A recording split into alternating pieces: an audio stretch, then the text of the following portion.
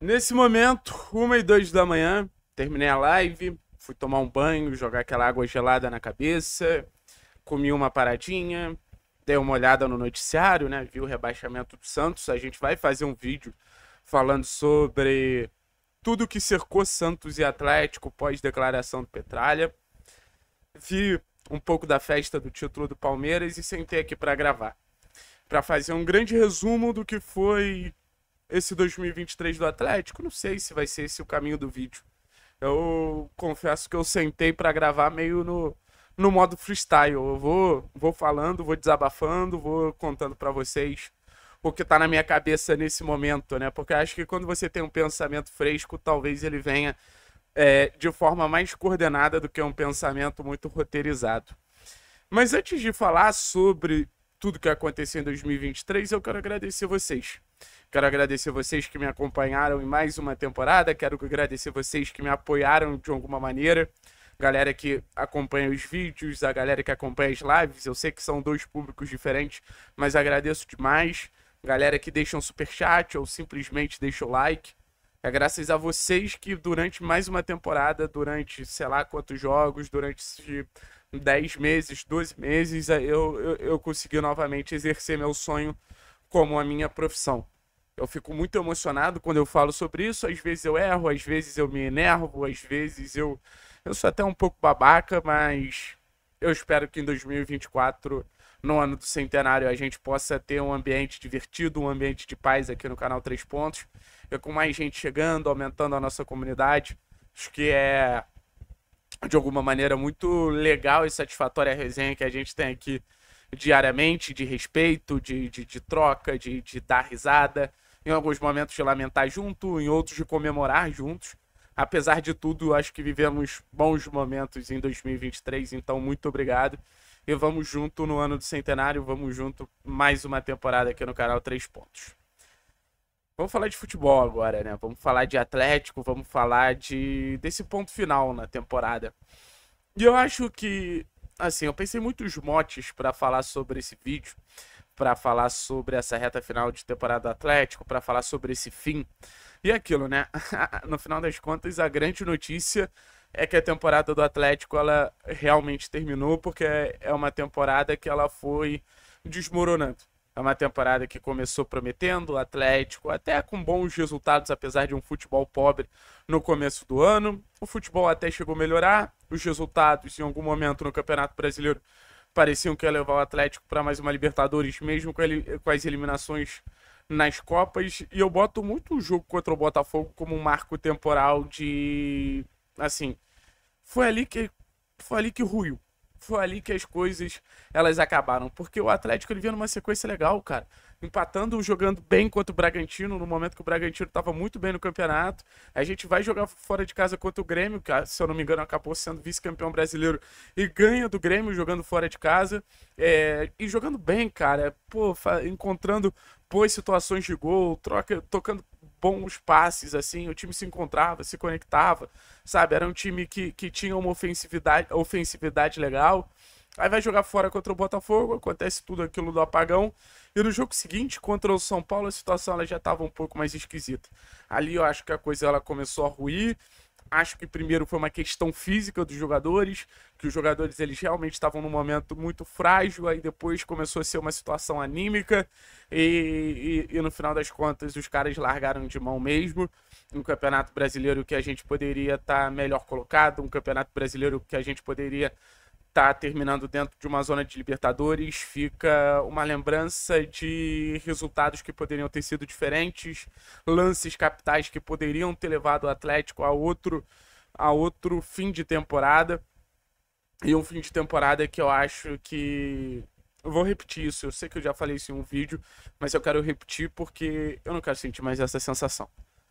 Óbvio que, por exemplo, o torcedor do Santos está sofrendo muito mais do que a gente mas essa sensação de ver o Atlético numa zona, cara, pouco competitiva, essa sensação de ver o Atlético numa zona de, de tanto faz. Cara, não é isso que eu quero pro Atlético. Eu vi o Atlético conquistando um protagonismo no futebol brasileiro que não foi fácil de chegar lá. E, cara, não vamos abrir mão disso tão fácil. Então, assim, Essa. Ser um clube comum, ser um clube nota 6 pro Atlético não serve, cara. A ousadia a ambição elas precisam falar mais alto para botar o Atlético na parte de cima da tabela, até porque o Atlético, de, de alguma forma, tem menos investimento que os outros, tem menos ferramentas que os outros, tem menos situações ali que a gente sabe que acontece no futebol que os outros. Então, o Atlético, ele o Atlético é o único que tá do lado dele. Não tem mais ninguém do lado do Atlético, não tem mais ninguém do lado do Petralha, não tem mais ninguém do lado do, dos jogadores do clube como um todo. Então, assim, se o Atlético não fizer por onde, ninguém vai fazer por onde pro Atlético. E assim, no final das contas, acho que o Atlético em muitos momentos não fez por onde, tá? E agora falando dentro de campo mesmo. Em poucos momentos eu acho que a gente teve na temporada uma defesa. Cara, eu não vou nem falar bem postada. Porque a desorganização era tanta que em muitos momentos o Atlético tomou gols com a defesa bem postada. Por exemplo, o terceiro gol do Bolívar. Cara, a defesa tava ali estruturadinha. E mesmo assim a gente consegue tomar gol.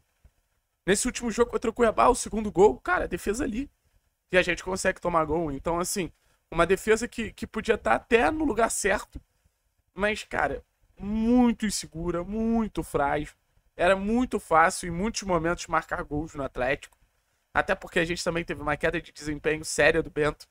Então, assim, é uma defesa que, que passava pouquíssima segurança. E acho que isso foi um dos motivos da gente ter uma campanha completamente irregular no Campeonato Brasileiro quantos pontos a gente não perdeu graças a essa defesa contra Goiás, contra, enfim, Bragantino, que foi um gol bobo que a gente toma, contra o próprio Botafogo, sabe, fora de casa, contra, enfim, uma série de adversários que, que, que a história poderia ser diferente, Cruzeiro, Palmeiras reserva, Grêmio reserva. Então, a chegada do Kaká eu acho que deu uma melhorada, a chegada do Esquivel eu acho que deu uma melhorada na defesa como todo. Apesar do último jogo ruim, acho que o Kaique ele mostrou alguma coisa nessa reta final.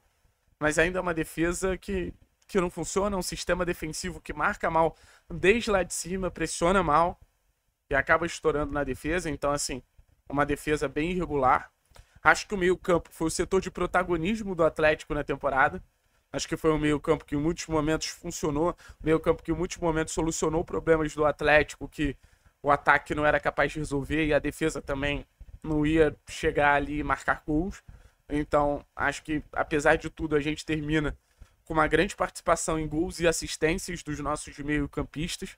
O Eric bastante é, numa temporada onde ele foi bastante artilheiro, o Alex Santana fazendo seus gols, o Christian, se eu não me engano, na melhor temporada da carreira dele, o Vitor Bueno na melhor temporada da carreira dele, até o Teran chegou a contribuir com gols e assistências. O Terence, no pouco tempo que ficou, cara, naturalmente bateria um double-double, um duplo-duplo, né? Que é mais de 10 gols e mais de 10 assistências na temporada.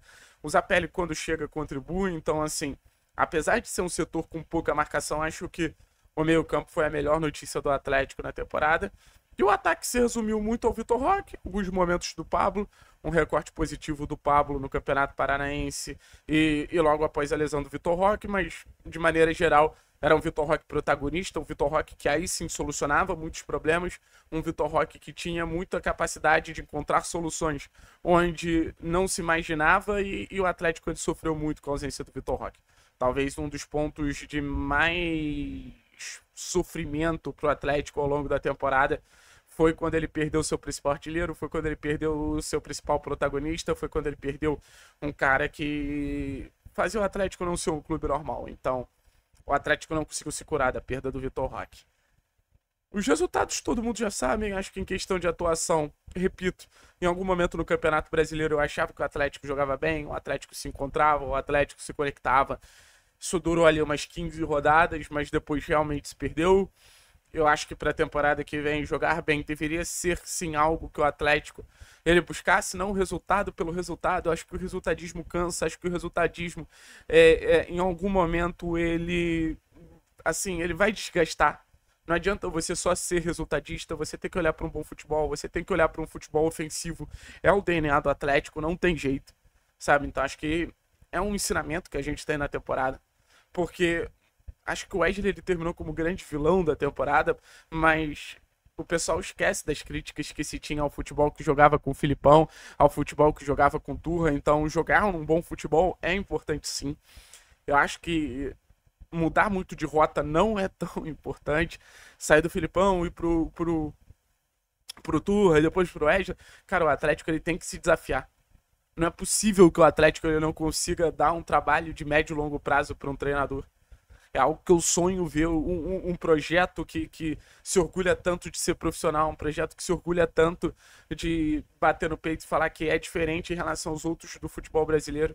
Em nenhum ano do século XXI o Atlético conseguiu entregar uma temporada completa para um treinador. Então, assim, é algo que deveria ser uma meta, é algo que deveria ser um desafio a ser abraçado para o Atlético. Então, essa escolha para o treinador de 2024 se transforma numa escolha ainda mais importante. Eu acho que ter ficado seis meses sem diretor de futebol, cara, foi, assim, uma das coisas mais absurdas que eu já vi no futebol brasileiro recentemente. Como um clube de futebol que tem o carro-chefe futebol aceita ficar seis meses sem o diretor de futebol, eu, eu, eu confesso para vocês que eu não consigo compreender, confesso para vocês que eu não consigo entender de verdade então, assim, foram muitos erros. Acho que o um mercado pouco agressivo. Acho que faltou botar ordem no clube. Acho que, que esse elenco desistiu quando ainda dava para brigar. Acho que os jogadores, em muitos momentos, não tiveram postura. Talvez tenha faltado um pouco mais de experiência do comando técnico, sim. Enfim, rapaziada. Enfim, acabou. Agora é começar a desenhar a próxima temporada. É, como o próprio Eric falou depois do jogo, é entender os erros é aprender com os erros, é entender que 2024 pode ser melhor, que o lugar do Atlético é brigando por títulos sim, que uma temporada jogando Sul-Americana não é tragédia, mas a gente não pode se acostumar com a ideia. O Atlético pode jogar Sul-Americana, mas ele precisa voltar urgentemente para a Libertadores. Desde do dia 7 do 12 de 2023, quando é, acaba a temporada do futebol brasileiro em 2023, eu acho que o Atlético ele tem que estar tá com a cabeça de voltar para a Libertadores em 2025. É o lugar do Atlético. O Atlético não pode aceitar ficar jogando Sul-Americana mesmo. Então, eu acredito, eu continuo acreditando muito no clube, apesar do clube ter me mostrado de, de diversas maneiras que às vezes é, ele mesmo cria questões pra gente duvidar dele, né? O Atlético mesmo ou se auto-sabota, o Atlético mesmo se torna o seu maior inimigo.